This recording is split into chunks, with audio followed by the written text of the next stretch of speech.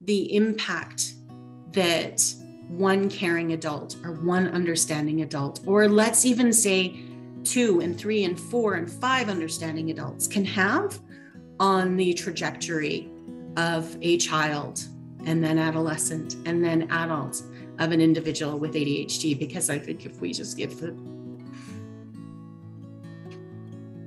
the opportunity, they can amaze us.